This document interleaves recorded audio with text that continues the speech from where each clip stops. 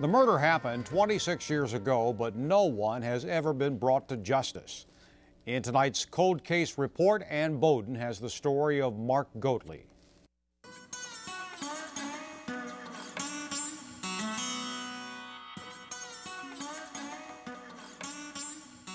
You'll have the loss always there, you know. So, I mean, and the pictures and everything, you know, you see them daily in your home you know so and that reminds you too but i don't i don't ever want to forget. Bobby goatley has never forgotten the murder of his younger brother mark.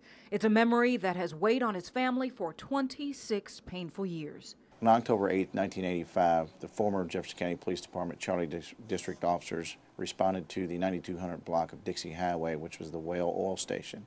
He was 23 years old. Um, he um, he was just, you know, uh, just a regular kid. Well, they located Mark Goatley, who was the victim of a robbery and who had been fatally shot. Bobby says his brother Mark had become a respected employee at the Whale Oil gas station and enjoyed his customers. The job became a source of independence for Mark as he had struggled earlier in his young life to find success. As his big brother, Bobby was proud of Mark's newfound stability, and then a phone call shattered it all. When the phone rings at that hour of the morning, uh, you know, generally you think something's up, you know, something's happened. The phone call from his family described the scene of his brother's murder. The bullet that shattered through the window left its mark for all to see. It's an image Bobby Goatley has never forgotten, but there's another image that's never left him. His baby brother giving him this small button. Bobby says just two weeks before Mark's death, Bobby shared his faith with Mark.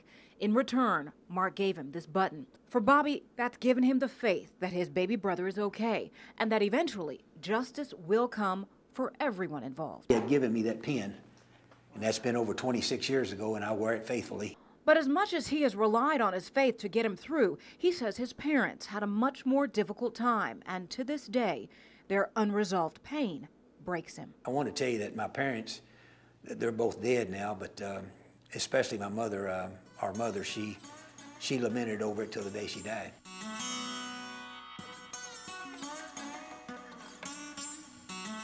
His parents' pain stays with him as well as his own. But Bobby Goatley says he knows his brother's murder isn't forgotten.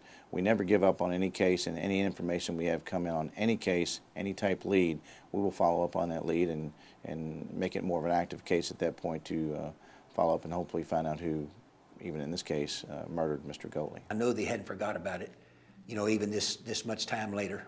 Um, and he's still not going to forget about it, that unit down there at the police department, and I, I thank the Lord for him. To this day, both police and Goatley believe someone knows something, even 26 years later, that could turn this case around. They just need to speak up. Just to think if, if it was their family member and they had been 26 years wondering, you know, and even what little bit it may be, I've always heard the police say that is, even though as insignificant as it may be as a small clue, just to come forth if they know anything, you know, so this family, the Goatley family, uh, could have, you know, closure on it.